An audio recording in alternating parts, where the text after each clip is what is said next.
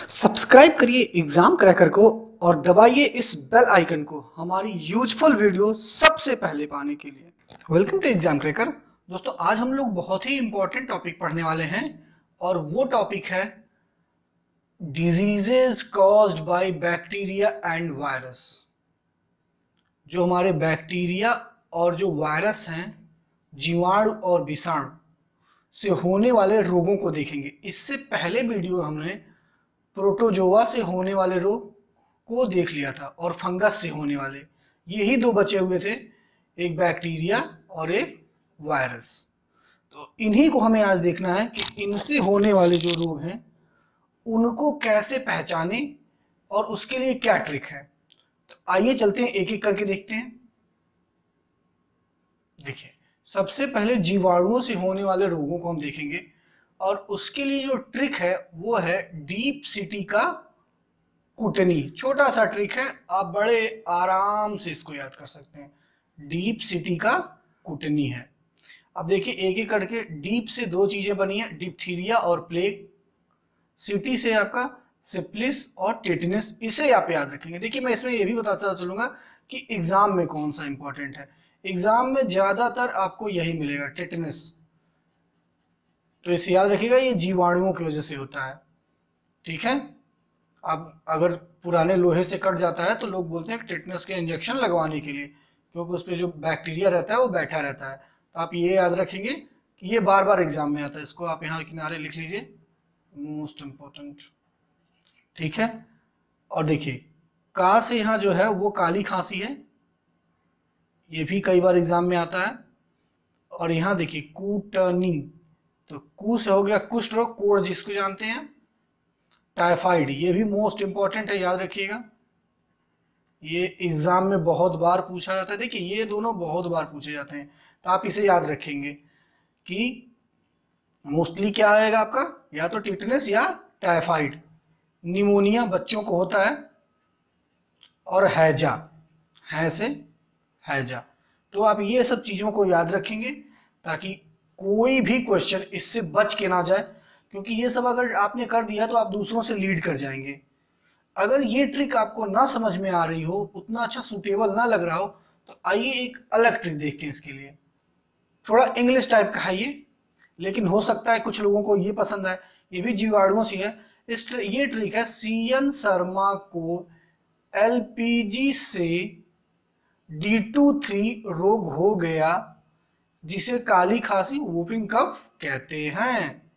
अब बस कुछ नहीं है। सी से कॉलरा एन से निमोनिया लिप्रेसी कोड जिसको कहते हैं हिंदी में। Plague gonorrhoea diphtheria diarrhoea tetanus typhoid TB and whooping cough same वही है, बस इंग्लिश में इसके नेम है। तो आपको इसमें क्या याद रखना है? यहाँ से।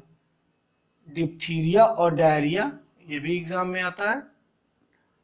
और टेटनस टाइफाइड टीवी ये कई बार एग्ज़ाम में आया हुआ है। तो ये वुपिंग कप काली खांसी आप जानते ही हैं, आखिरी वाला तो ये बताने की ज़रूरत नहीं है। तो सेम यही ट्रिक आपको इंग्लिश में है। तो हो सकता है कुछ लोगों को ये पसंद आए। और एक आध ट्रिक और भी है, अगर आप बोलेंगे तो उसको मैं ऐप में डाल दूँगा एग्ज़ाम क्रैकर का जो ऐप है। अगर नीचे आप लोगों को ज़रूरत हो तो कमेंट करिए, मैं ऐप में डाल दूँगा उसको। अब देखिए, बात है हम अपनी बैक्टीरिया बैक्टीरिया हो गया वायरस डिसीजेज देखते हैं।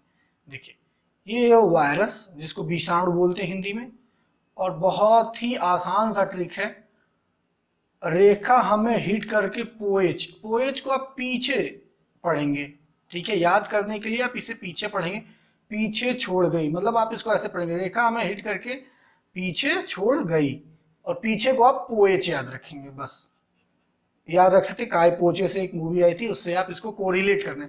को देखिए याद ऐसे ही करते हैं कोरिलेट से। डायग्राम में अगर आप अब पोचे से कोई पूछे, आपको याद आ गया मूवी तो आपको याद रहेगा ये।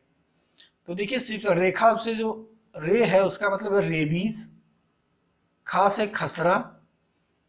मैं आपको बताता चलूँगा इसमें कौन सा इंपॉर्टेंट हार्पिस, मेनिंजाइटिस का रोग है, हेप्टाइटिस, कई बार एग्ज़ाम में आता है ये।